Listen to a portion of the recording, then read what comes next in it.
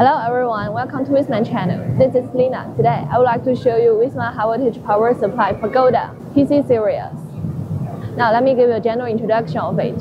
Wisman TC series max output voltage 600 kilovolts, max output power 100 kilowatts, low temperature coefficient less than 25 ppm per Celsius degree, high stability less than 0.05% after 8 hours of operation. Wisman TC series is composed of three parts, which are high voltage part, drive part, and remote control part.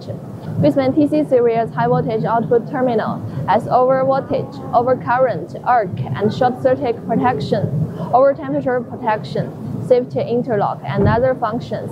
Wisman TC series can be used in nuclear physics, industry, accelerators, capacitor charging, electronic gun, high voltage isolation test, science and laboratory applications. Thanks for your watching. Wisman warmly welcome the customers from all over the world. See you next time. Bye.